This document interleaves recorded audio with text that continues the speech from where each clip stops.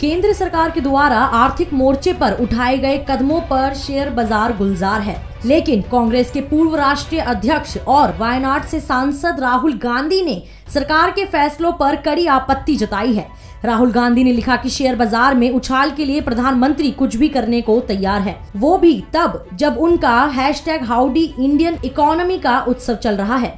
राहुल गांधी ने इसी ट्वीट में अमेरिका में होने वाले हाउडी मोदी कार्यक्रम को भी आड़े हाथों ले लिया और सरकार की ओर से एक दशमलव चार पाँच लाख करोड़ के राजस्व घाटे को हाउडी मोदी से जोड़ दिया। राहुल ने लिखा कि हाउडी मोदी कार्यक्रम दुनिया का सबसे महँगा इवेंट होने वाला है। कांग्रेस नेता ने लिखा कि लेकिन कोई भी इवेंट इस सच्चाई को छुपा नहीं सकता है। जहाँ हाउडी मोदी जैसा कार्यक्रम भारतीय अर्थव्यवस्था को लेकर गया है, एक तरफ़ राहुल गांधी ने इस फैसले पर सवाल उठाए हैं तो वहीं दूसरी ओर प्रधानमंत्री नरेंद्र मोदी ने इन फैसलों को ऐतिहासिक करार दिया है। पीएम ने ट्वीट कर इन फैसलों के लिए वित्त मंत्री की तारीफ़ की। गौरतलब है कि वित्त मंत्री निर्मला सीतारमण ने शुक्रवार को जो ऐलान किए हैं, उनमें कॉर्पोरेट टैक्स में छूट, कैपिटल गेन के सरचार्ज में कटौती जैसे फैसले शामिल है।